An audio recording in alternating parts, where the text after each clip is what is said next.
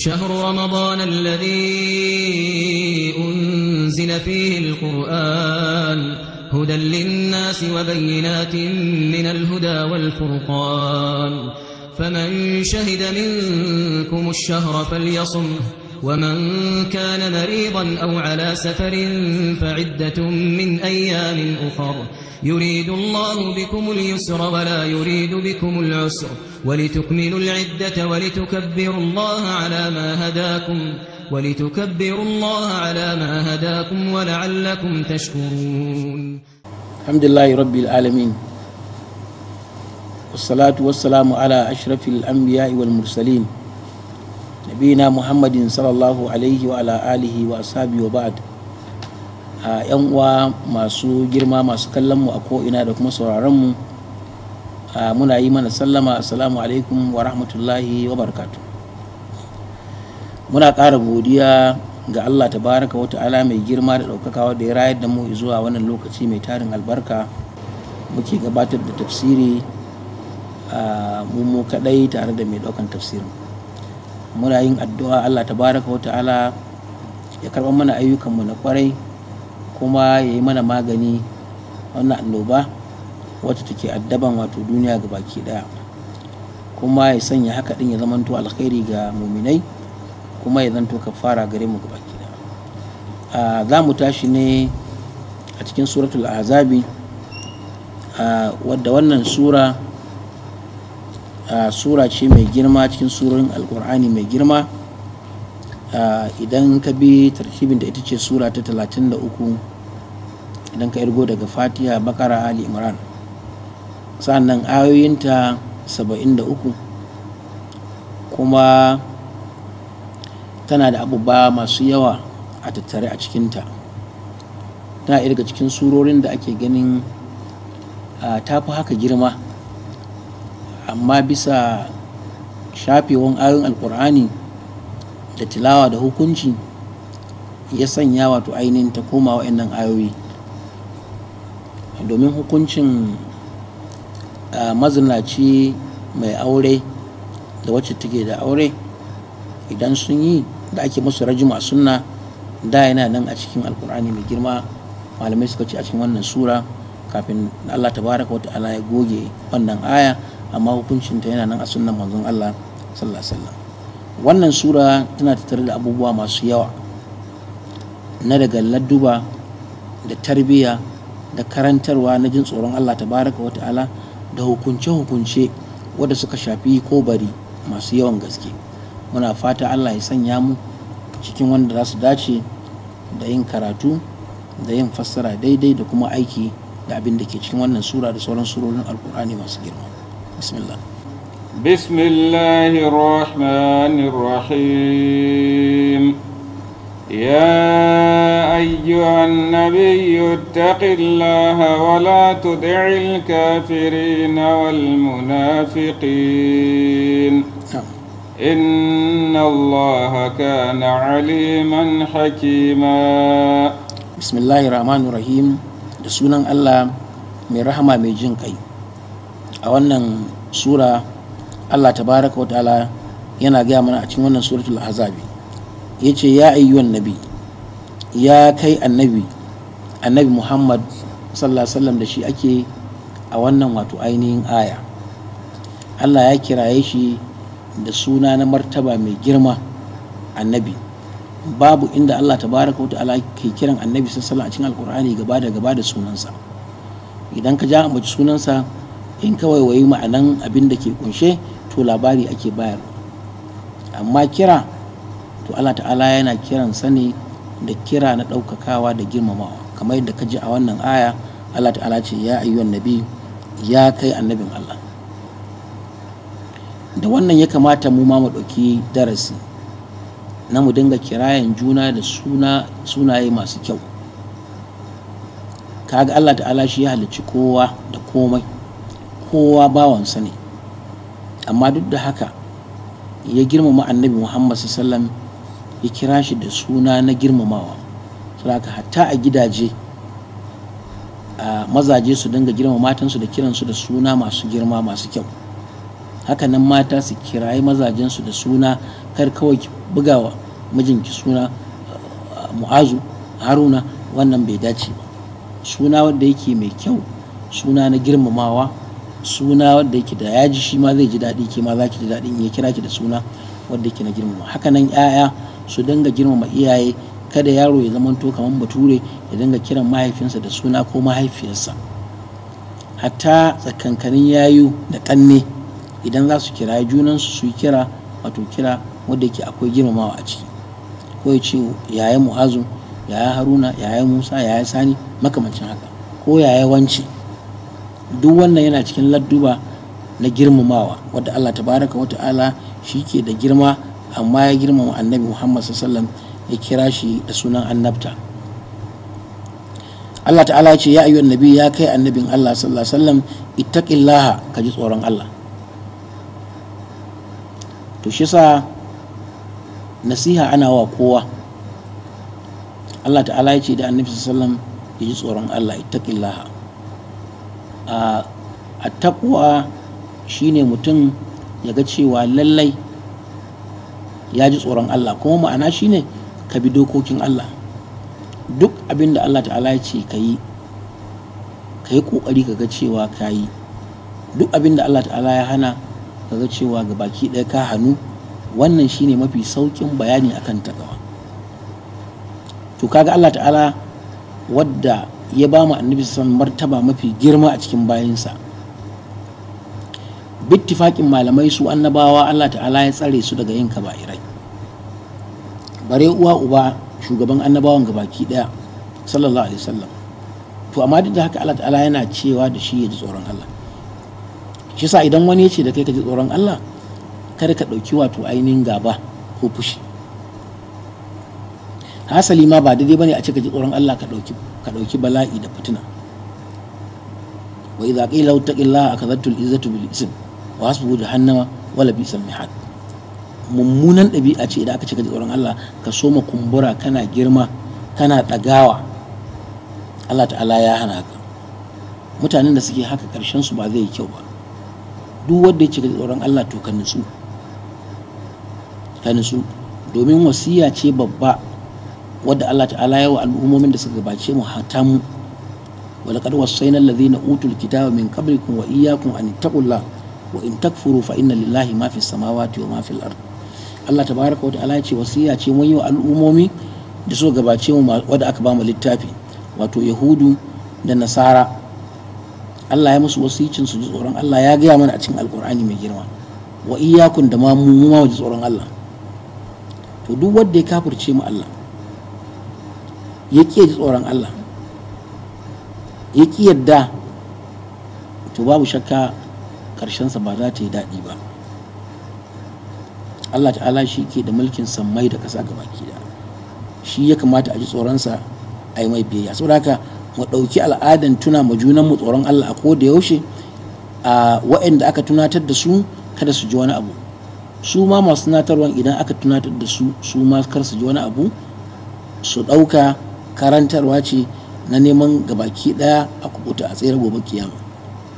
To sai Allah ta'ala ya ce da shi a wannan aya annabi Muhammad sallallahu alaihi wasallam wala tuti'il kafirina. Kada ka yadda ka yi biyayya ga kafirai. Domin su kafirai asalin ba su yadda da Allah ba. To kaga wanda bai yadda da Allah ba yi mai biyayya yana iya kai mutum ga wato ainihin halaka. Saboda musulmi ya kiyaye yin biyayya ga kafirai. Muna wani lokaci mai hatsari a yanzu wadda al'adun kafirai ke birge musulmai musamman ma kuma wasu al'adun da suka saba ma namu. Ka ga mace ta haɗa gashi da gashi saboda kadai tana so ta zamanto kamar kafara. Ta ɗauki kanta ta kai a ɓare mata fatan jikinta domin ta zamanto kamar baturiya. A magana ma yanzu ka samu wasu idan suna yi da hanci kamar turawa.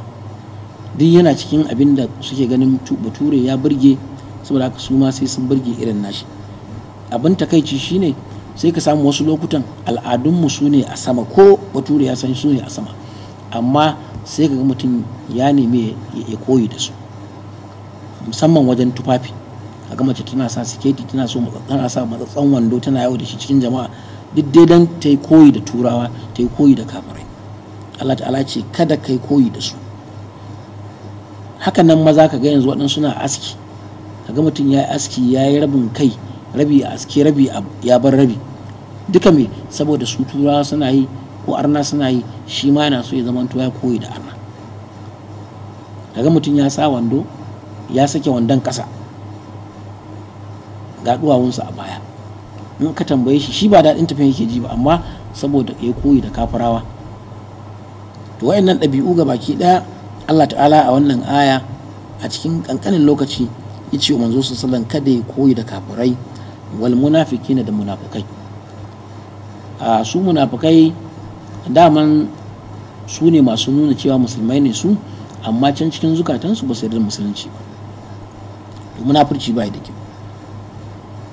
Kuma mu dage mu ga cewa mun nisanci wato ɗabi'un munafukai. Munafurci na aiki da munafurci na akida. Daga ciki mutum ya zanto yana karya in yi magana. Idan ya yi alkawari ba zai cika ba.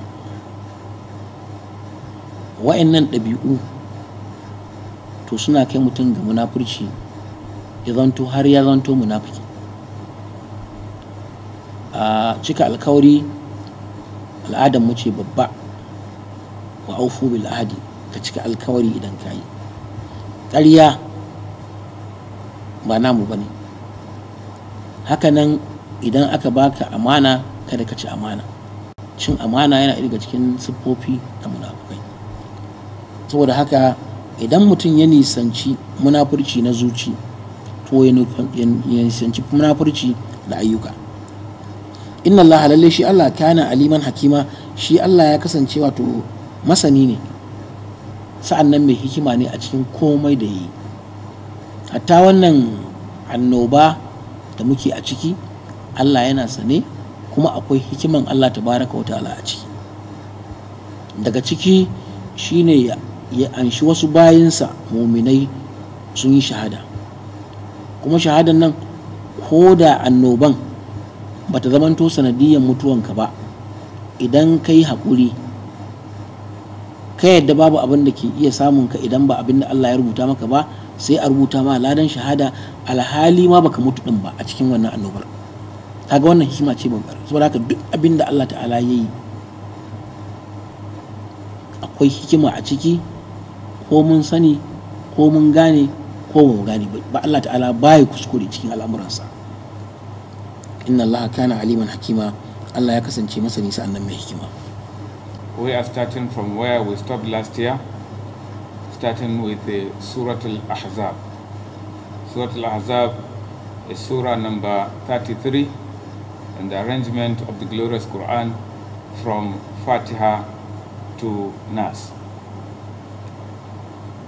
It consists of 73 verses.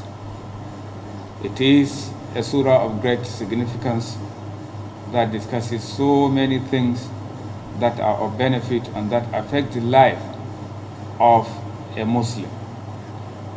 Therefore, learning these type of surahs and putting them into practice satisfies Allah subhanahu wa ta'ala and makes Allah the Most High happy to know that yes, a slave is really his servant and he has submitted himself to Allah the Most High.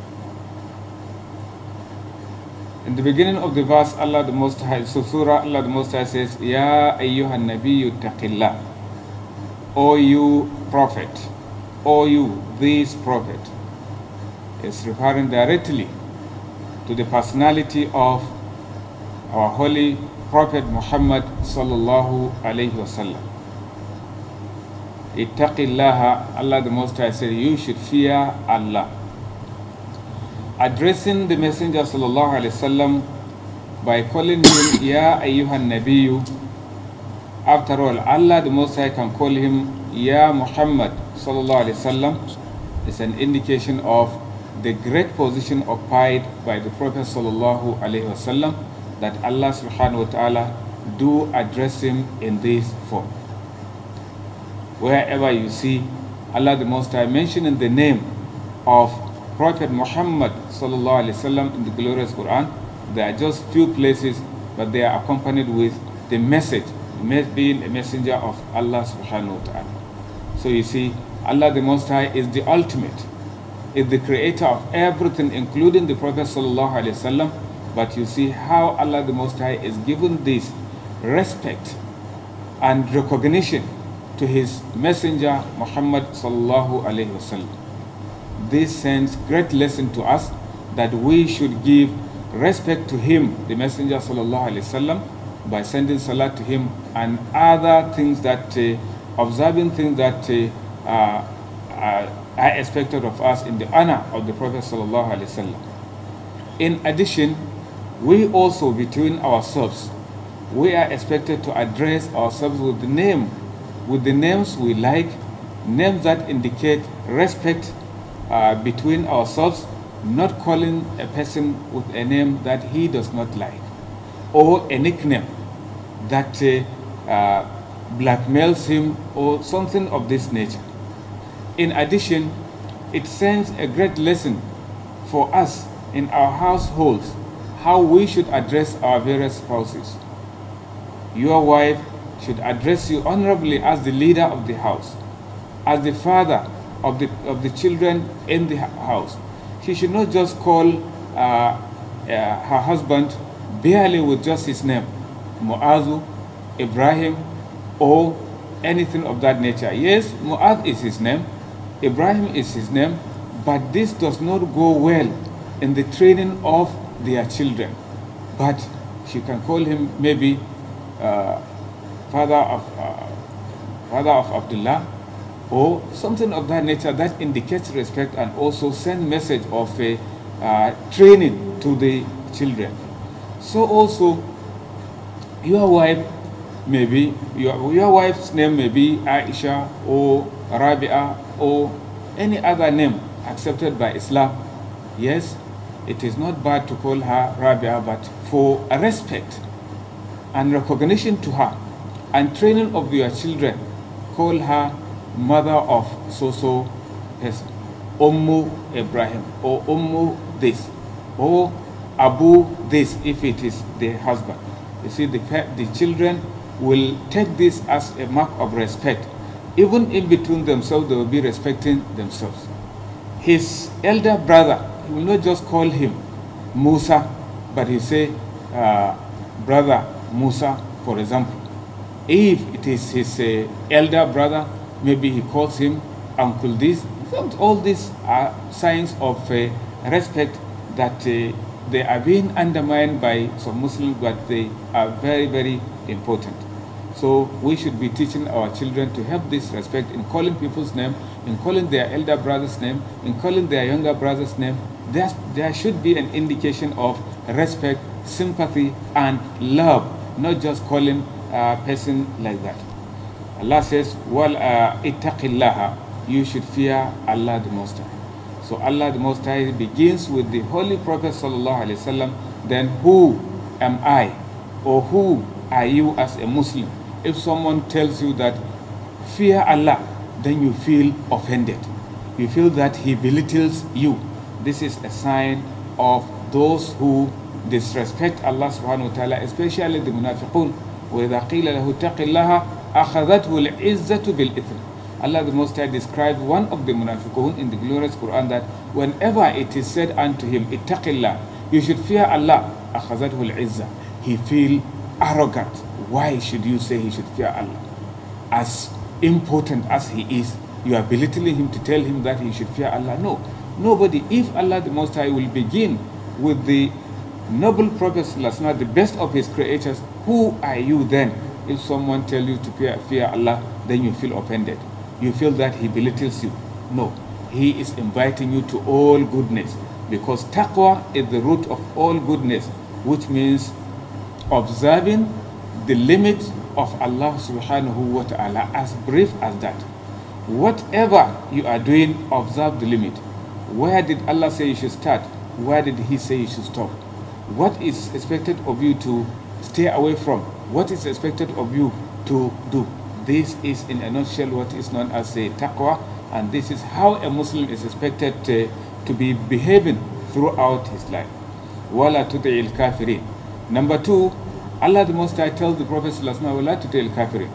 Do not follow, do not obey, do not follow the footsteps of the kafirin, of the unbelievers. The, the lifestyle of the disbelievers. We have our distinct lifestyles as Muslims, taught by the Quran and a hadith of the Prophet in terms of eating, in terms of, the, uh, of uh, drink, in terms of dressing, in terms of everything we do. Therefore, we are satisfied with that.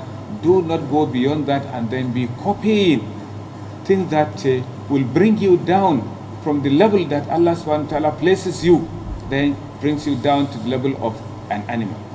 Consider the issue of dressing, for example. It is today that whereby you see a Muslim, a female, for example, trying to emulate, trying to copy the lifestyle of the kuffar by maybe attaching hair, after attaching different styles, after different style, exposing her hair, moving out like that. She wears jeans, she wears skirt, she wears everything and walk out naked and she's feeling that she is okay with that lifestyle which is contradictory to the teachings of the uh, Prophet sallallahu alaihi wasallam.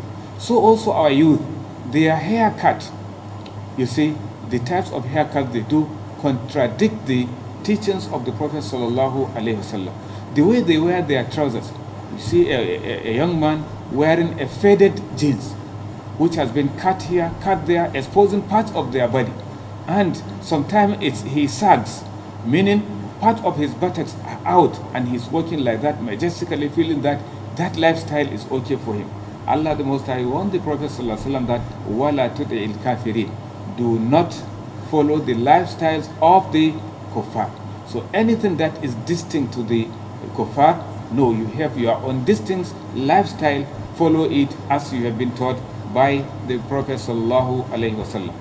While munafiqin do not also follow the lifestyle of the munafiqun. Munafiqun meaning the hypocrites are those people who uh, pretend or manifest iman apparently, but they hide disbelief or other evils in their heart. When they come, they say they are believers. They pray with you, they do everything with you, while in, contra in contradictory to that, there's another thing in their heart. So, hypocrisy of action, hypocrisy of speech, all these are forbidden. That's why the Prophet ﷺ described or gives some qualities, some attributes of the munafiqun. He said, Ayatul munafiq fala. The signs of hypocrites are three. One, إذا حدث كذب. When he speaks, he tells lies. وإذا وعد أخلف. When he promises, he fails. وإذا وعد وإذا اؤتمن خان when he is relied upon when he is trusted then khana he betray the trust so if a muslim combines these three uh, signs then he has taken uh, the signs of hypocrites until he repents that's when he become a complete muslim so allah the most high says wala tudil kafirina wal munafiqin do not follow the lifestyle of the kuffar and the hypocrites. In Allah kana aliman, certainly Allah the Most High is ever alim, all knowing. Everything you see, you did not see, everything you know, you did not know, Allah the Most High encompasses everything with His uh, knowledge. Hakiman, and Allah is wise. Everything you see Allah subhanahu wa ta'ala is doing or has done, there is wisdom behind it. Either you know that wisdom or you do not know it, there is wisdom behind it. And even this pandemic that troubles the whole world, there is wisdom behind it. Somebody may be surprised, ah, what is the wisdom behind something that is killing people, that is devastating lifestyle, that is that brings about that crumbles economy? Of course, there is wisdom because it makes you to understand Allah subhanahu wa ta'ala as the controller of the heavens and earth it makes people who are Muslims to attain martyrdom, that is Shahada. Those who are uh, infected, affected by this disease and they happen to lose their life in the process, they are Shuhada, according to the Prophet Sallallahu Alaihi Wasallam. And those who are not even affected. But throughout the time of this pandemic, they remain patient, submitting themselves to Allah subhanahu wa ta'ala in total reliance to Him. Yes, they are also shuhada. Reward of shuhada is going to be allocated to them because of their patience, because of their submission, and because of their reliance unto Allah the Most High.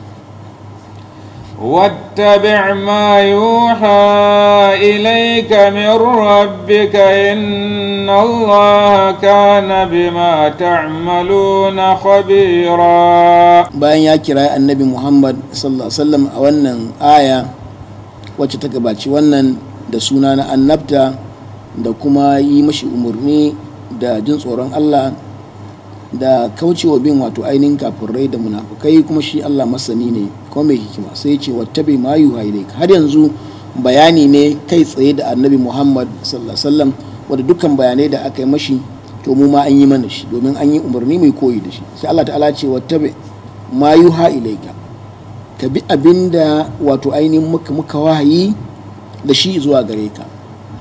Domin annabi muhammad sallallahu allah tabaraka wa ta'ala ya mashi wahayi. Duk da mutanen makka kafirai daga cikinsu suna da kokonto suna da ja. To amma allah tabaraka wa ta'ala hika ya mashi wahayi. Domin duk abin da yake faɗi wahayi ne daga allah. Wa ma yantiqu anil hawa in huwa illa wahayyuha Allah ta'ala ya ce baya maganan son zuciyarsa baya son ransa bayi da maganan da yake nashi na kansa face abin da Allah ta'ala ya mai wahayi da shi. To saka annabi sallallahu alaihi an mashi wahayi. Kuma wannan wahayi wanda ya kawo shine jibril alaihi salatu wassalam. kuma farkon yin wahayi da aka mashi yana shekara arba'in a kogon hira a makka. Allah tabaraka wa ta'ala ya turo jibril ce da shi a gaya wa annabi muhammad sallallahu ya karatu ikra ya ce ma ana bikari iqra ma ana bikari iqra ismika rabbika ladhi khalaq. Khalaqal insana min alaq. Iqra wa rabbukal akram alladhi allama bil qalam allama al insana malami alam wa'annan su ne ayoyi guda biyar na farko da Allah tabaraka wa ta'ala ya wahayi zuwa Rasulullahi sallallahu wadda Allah tabaraka wa ta'ala ce ya bi duk abin da aka saukar mashi.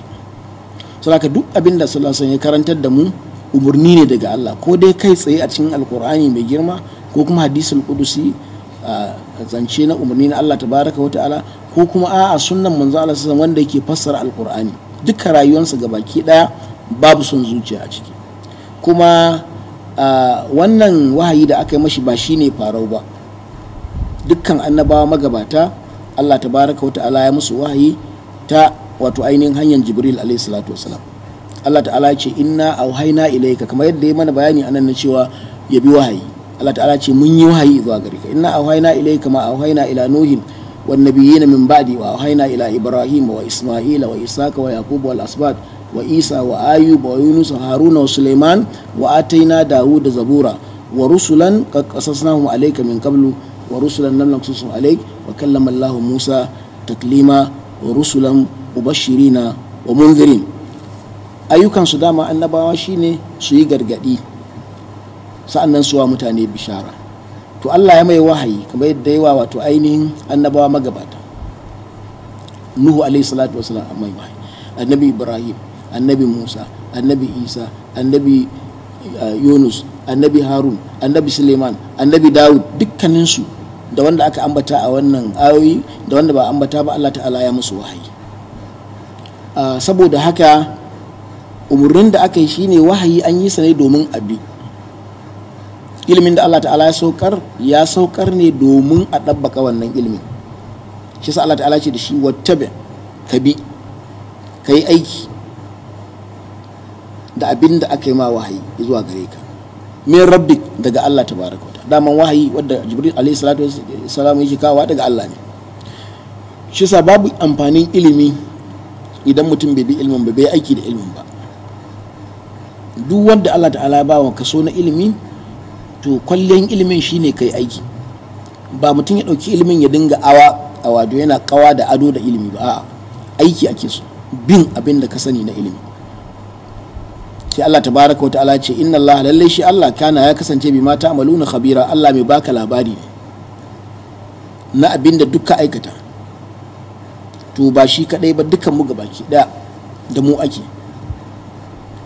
Ana so mu yi aiki da ilimin da muka samu daga wajen manzon Allah sallam na daga ƙur'ani ko sunna da ayyukan magabata na ƙwarai to idan ka tara wannan ilimin to kai aiki. Domin Allah ta'ala zai ba mu kowannen mu labarin abin da muka aikata. Idan mutum ya aikata sharri to zai gani. Idan ya aikata alkhairi to zai gani. Wa man ya'mal mithqala dharratin khairan yara wa man ya'mal mithqala dharratin sharran yara.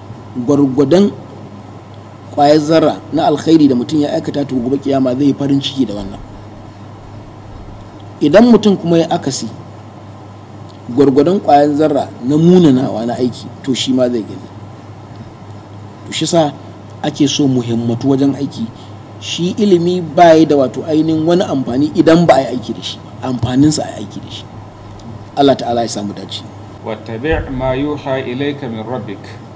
You should follow and put into practice what has been revealed unto you or what is being revealed unto you from your Lord Allah the Most High.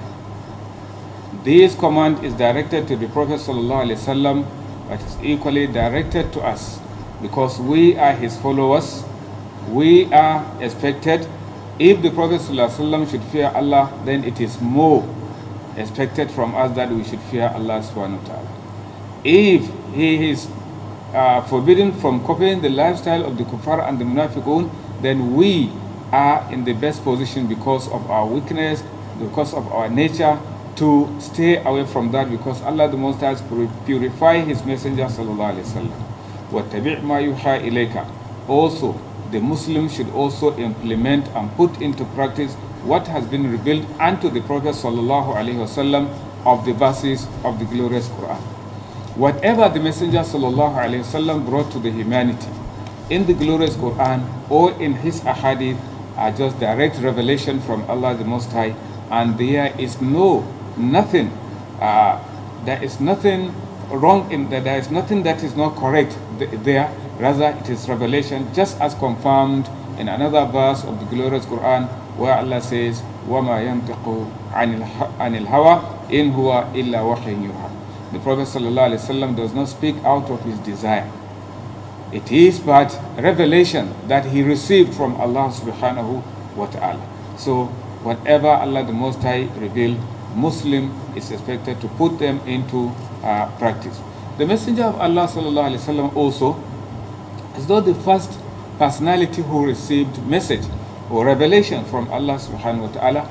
Other messengers who came before him received revelation such as Musa, Isa, uh, Dawood, Suleiman, and so on. They received revelation and they were asked to implement it, so also to transmit it to their followers so that they also put it into uh, practice. In Allah kana aliman kana bima ta'maluna khabira. Allah the Most High is ever acquainted of what you do. Allah knows what you are doing, so He is going to give you recompense in accord, accordingly. If good, you see goodness. If bad, you see evil. May Allah subhanahu wa ta'ala protect us from seeing evil and may He enable us to do good. وتوكل على الله وكفى بالله وكيلا وتوكل على الله musulmi na kwarai ana so ya yi dogaro ne ga Allah tabaraka wa ta'ala ya dogara ga Allah kar ka yadda ka yi dogaro akan wani ba Allah ba ko wani mai hali ko wani mai dukiya ko wani mai mulki ko wani malami ko wani boka wannan shi ya fi yawa.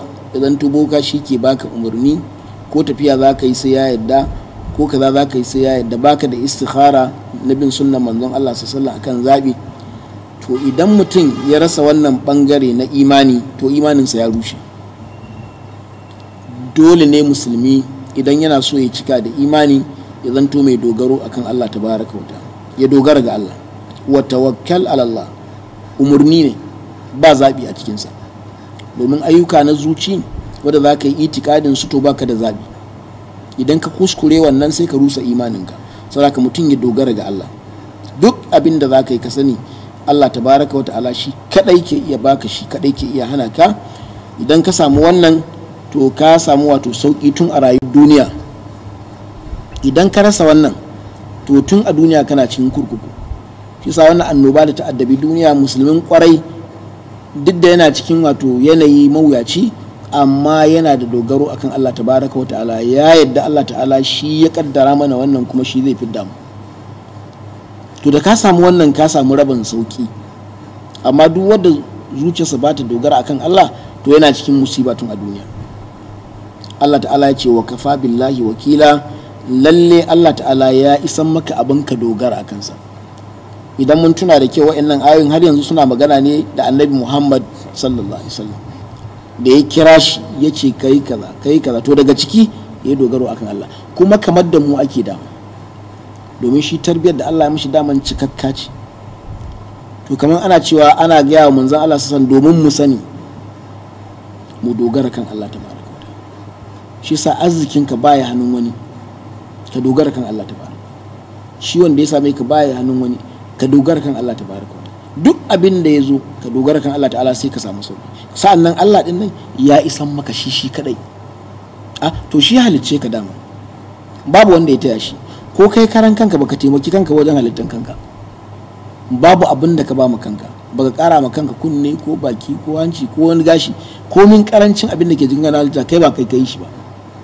To me yasa ba za ka dogara akan wanda ya baka shi ba Allah ta'ala ya sanya mu cikin masu dogaro ga Allah ta'ala addressing the Prophet sallallahu alaihi wasallam, he says, "Watawakkal ala Allah," and you should rely on Allah subhanahu wa taala. In reliance on Allah the Most High, one should be submissive and believe that Allah the Most High is the controller of all affairs. Nothing can harm him except what Allah approves, and no benefit can come to him except from Allah subhanahu wa ta'ala. So it will be unfortunate of a Muslim who is reading the glorious Quran and also knowing this issue of tawakkul, which the Prophet has been commanded, and directly we are being commanded uh, to do so, then for him to take someone who will be remote controlling him as uh, he will is the one who will tell him go out it is then he will go out. Come back he will come back. If you want so so so thing you have to do this. All these things that are in form of shirk this means that he is committing shirk. He did not have reliance on allah the most high which allah the most high commands the prophet sallallahu to uh, implement in this verse. Wa wakafa billahi wakila and allah subhanahu wa ta'ala self-sufficient sufficient is allah subhanahu wa ta'ala as disposer of affairs he is the one who one should rely upon, and He is the protector. He is the one who creates and provides us, sustains us with everything. Therefore, none can do this except Allah subhanahu wa ta'ala. Then, if Allah is the only one who can do that, then He is the one whom everyone should uh, put his reliance on. ما جعل الله لرجل من قلبين في جوفه وما جعل أزواجكم اللائي تظاهرون منهن أمهاتكم وما جعل أدعياءكم أبناءكم ذلكم قولكم بأفواهكم والله يقول الحق وهو يهدي السبيل na'am yana karantar da mu al'amuran da dole musulmi ya yadda kuma ɓangaren ayan ta farko a ta masana na ilimin ɗan adam da bincike na gabanin jikinsa su yadda. Allah ta'ala ce ma ja'alallahu li rajulin min qalbayni fi jawfi. Allah bai sanya wa dan adam mutum zuciya biyu ba a tattare da shi babu. Duk mutum da ka sani dan adam. To zuciyar da ke makale a kirjinsa baya kaiwa biyu ɗaya ne tal. Bai yiwuwa ya ce maka dan yawan kwakwalwansa da yawan tunaninsa da yawan ilminsa yana da kalbu guda biyu wato zuciya guda biyu ɗaya ne ta ko ba a isa a makala maka ƙari ba. Ɗayan nan dai da Allah ta'ala ya baka. Shine to shi sa ilimi na zamani ya nuna babu wadda yake da guda biyu a tattare da shi. Ɗayan nan ne kawai. Wannan ilimi ne wadda yake lokacin da Allah ta'ala ke saukar da wannan aya babu na'urori na zamani na bincike irin wannan da ake na kwakwaf. Shi sa duk abin da alkur'ani ya ambata a lokacin da babu na'urorin bincike to ko da an kawo lokacin da ake irin waɗannan binciken ba a samun saɓani domin Allah tabaraka wa ta'ala shi ya halici kowa da komai. Ya kamata musulmi su ƙara farin ciki da godiya ga Allah tabaraka wa ta'ala da alfarman da ya mana da saukar mana littafi mafi ɗaukaka cikin littafai. Abu na biyu wa ma ja'ala azwajukum allati tuzahiruna minhunna ummahatikum. Allah ta'ala ce kuma bai sanya matanku waɗanda kuke yin zihari da su cewa su iyayenku ne ba mata. Al'amarin ba haka yake ba. To zahiru na minhun zihari da ake yi da mata a ce su iyaye ne na mutum ba gaskiya ne ba. Allah bai sanya haka ba. Menene ma'anar zihari? Al'ada ce ta larabawa na idan matarsa ta bakanta masa a jahiliya sai ce ke ɗin nan kina nan kaman bayan mahaifiyata. Wato shi kenan yake faɗin haka ba ni ba. To idan ya yi wannan kalma ta zihari abin da ke nufi kamar yadda ba zai kusanci mahaifiyarsa ba a kwance hakan nan ba zai kusanci wato ainihin matarsa ba. To allah ta'ala ce wannan bayani karya ne. Babu yadda za a yi iyalin ka mataka da ka aura ta zaman to mahaifiyarka bai yiwuwa. Ko ka faɗi ba zai yiwu ba ba gaskiya ne ba. To shi sa kada wani abu ya haɗa mutum da iyalinsa don ya fushi marmaza ya mata zihari ba daidai ne ba. Kullum a nemi hanyoyi na dacewa wajen sulhu da gyara tsakanin ma'aurata. Domin zama ne na dindindin har mutuwa idan allah ya so. Saboda haka dole ne a samu lokuta na an saba ma juna ko da gangan ko ba da gangan ba. To ba furci irin wa'annan furcin zai yi maganin irin wannan sabanin ba a'a. Ɗauki matakai na sunna wanci ya kika kaza sai ta yi bayani. Ta yi ma tana da gaskiya. Sai ka cewa to ma shi abin ba na fushi ne ko kuma a'a ba ta da gaskiyan. Amma ai ita ma yar adam ce. Yadda kake sabo kai ma kake kuskure kai ma to haka ita ma za ta iya yi. Haka nan ita ma karta muna na furuci ga mijinta domin ya yi mata wani abin laifi. Ta idan ta tambaye shi bayani ma abin ba haka yake ba. Da yawa kuma ana samun haka. In ma hakan ne kuma ta ɗauki haƙuri domin zama ne wanda yake ba kwana ɗaya ba ba kwana biyu ba uku ba ba sati ba ba shekara ba. Saboda yana buƙatan haƙuri da juna. Idan kana da abokai nesa ba kus da kus ba ana iya samun rashin saɓani. Amma matuƙar za a zo kus da kus ana ganin komai na kowa to babu shakka za a gane raunin mutum. Kuma maganin wannan raunin shine a dinga sasantawa domin ya zamanto an ɗore da wannan tafiyar ba yadda muke samun sake-sake a cikinmu mai yawa ba. To wannan al'ada ta larabawa allah tabaraka wa ta'ala ya haramta ta.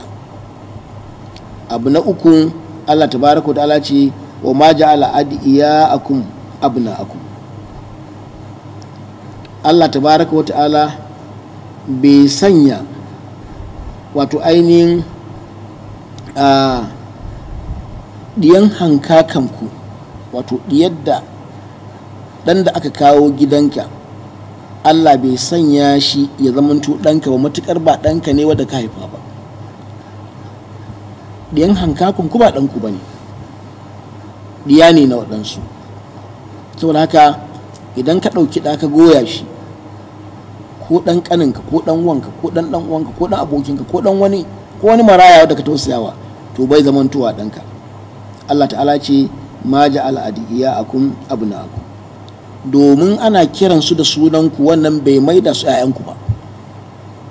Domin galibi zaka samu al'adar mu idan mutum ya ɗauko ɗan ɗan uwansa ya hada da yaransa to za a dinga kiran wannan yaron da dan wane wato mai goya shi dan kamar yadda ake kiran 'ya'yanka da sunanka haka shi ma za a kira. Wani lokaci ana jin idan an kira shi da wani suna na daban a gidan zai zanto kamar bare ne a gidan.